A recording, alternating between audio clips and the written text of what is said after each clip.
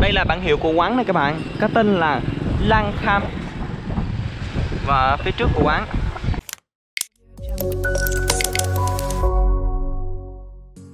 Ờ, xin chào cả nhà, hiện tại thì mình đang có mặt tại à, thành phố Bách Xế, tỉnh à, Sắc, Một cái tỉnh mà à, khá là nổi tiếng ở phía nam Lào. Và phía trước các bạn đây là dòng sông Mekong. À, Ồ, bác này rớt rồi.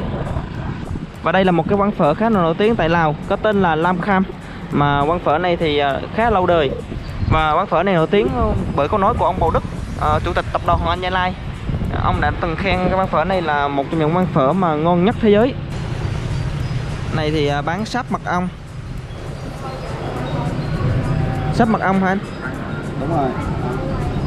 Ông rừng á ông rừng á. Ở Lào chắc bán ờ, đồ thật không á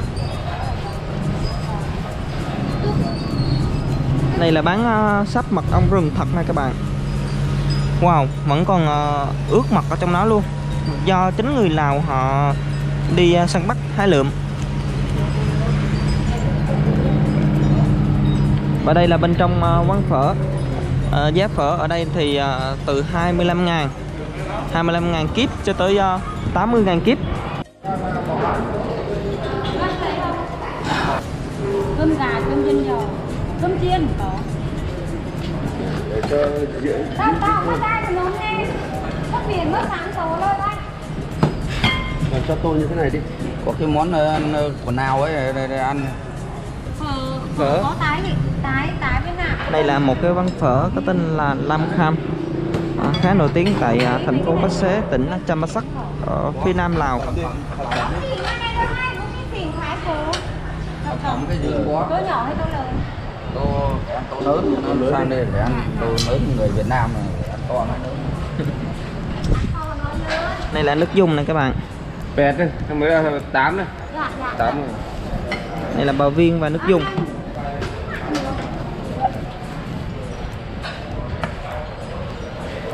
Tô lớn và tô nhỏ.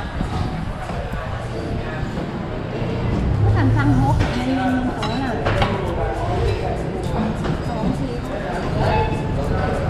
bánh này thì à, làm bánh quẩy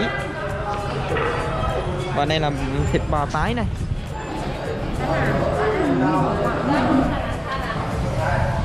nhìn tô phở hấp dẫn ghê ạ.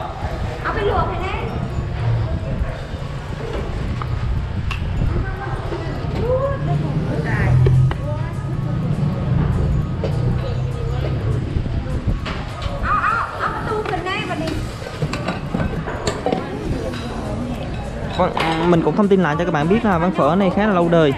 Ờ, chủ của quán phở này là người Việt Nam. Nhìn hấp dẫn nha. Cái đó là gầu. Cái này là cái gì cô? Gầu. Gầu hả? Con này là mình làm tái hả? Dạ tái. Dạ. Cô là người người ờ, Huế hay sao ta? Huế Hà Nội. Huế hả cô? Quê ở Hà Nam Ninh mà. À, ở gần Hà Nội. Bắc à không phải người Trung đây là phở Bắc thôi. Ăn ở đâu lại? Dạ. Ăn ở đâu lại? Ờ, ở Sài Gòn ạ. Cái này phở Lào không phải phở Dạ. Bắc? Phở Lào hả? Phở Lào nó khác gì phở Bắc? Vì mình nấu theo của mình chứ mình không có nấu theo kiểu kiểu người Lào hả? săn đẻ ở đây mà ở đây 80 năm rồi mà. À. gia đình em ở đây 80 vậy là cô cô cô nấu theo theo kiểu phở người Lào. Thì nấu theo kiểu của gia đình nấu đó. Dạ. Gia đình bán khổ 47 năm rồi à. Nhìn tô nhiều thịt ghê á.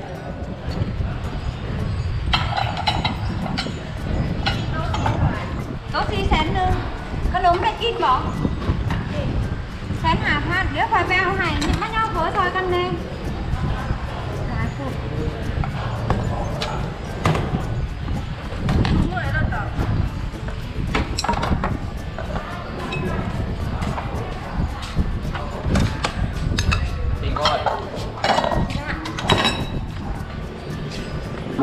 của nó là vậy đó. À, xin giới thiệu các bạn. Đây là tô phở ở quán Lam Kham ở tại à, thành phố Bách Xế tỉnh Champasak phía nam Lào. À, mỗi phần ăn như vậy thì sẽ có một cái đĩa rau.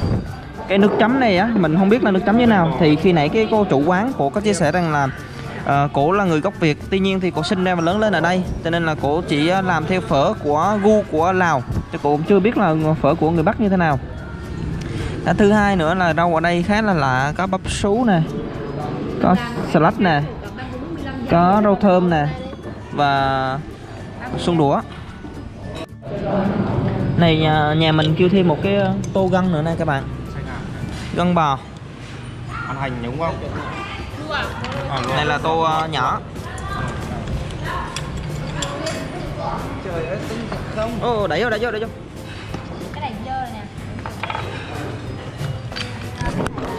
buổi sáng mình ăn không được nhiều cho nên là mình sẽ kêu một cái tô nhỏ. Tô nhỏ còn tô này mà tô bự nè. Anh Nam ăn to nó lớn nè. À ok ok. Này mâm ruốc hả anh? Mâm ruốc hả? Em thử, em thử thử. Các bạn nào. Em nó bóng rút là chấm cái này hả mắm này ăn như soi nè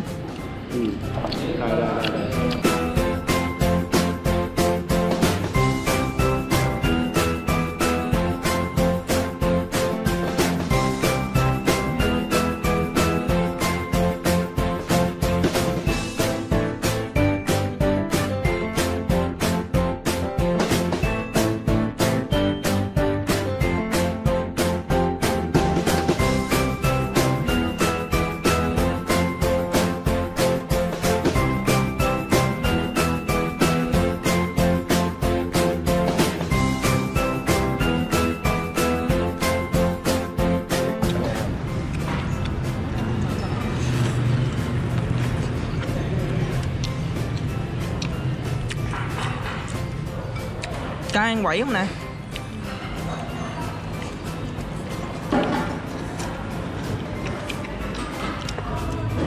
Chắc cái này chỉ có người Lào ăn thôi à? Việt Nam không ai ăn đâu. Cái đồ chấm này nè, nó ngọt quá.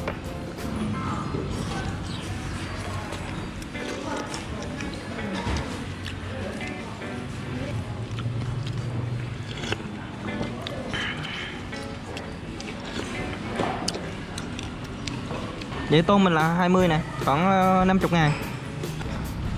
Cuối cùng là mình qua Lào với qua Thái là mình ăn được. Tương lại Ăn phở mà có mâm tôm mâm ruốc trời